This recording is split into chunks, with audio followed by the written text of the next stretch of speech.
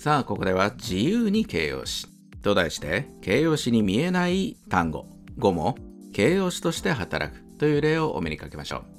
いいですか？英語は配置の言葉です。名詞の前にある単語が置かれるとすると、もちろん名詞を指定する形容詞の働きを用い得るんですね。したがって名詞の前という場所に置くことによって様々なもともとは名詞であった表現、あるいはもともとは ing、もともとは過去分詞、そうした表現が形容詞の働きを取ることができるわけです。A. We have to do everything to prevent animal abuse. 動物虐待を防ぐために私たちはあらゆることをしなければならない。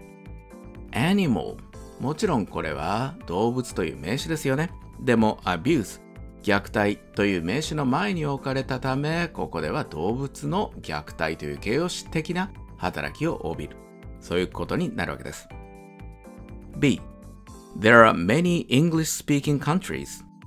英語を話す国がたくさんある。English speaking もちろんこれはただの ing フレーズです。でも countries という名詞の前に置かれることによって、ああ、countries を指定する形容詞の働きなんだなということがわかる。というわけですね。英語は配置の言葉。それが分かっていれば、様々な語句を形容詞として用いることができる。そうした文法事項、しっかりと頭の中に入れておきましょう。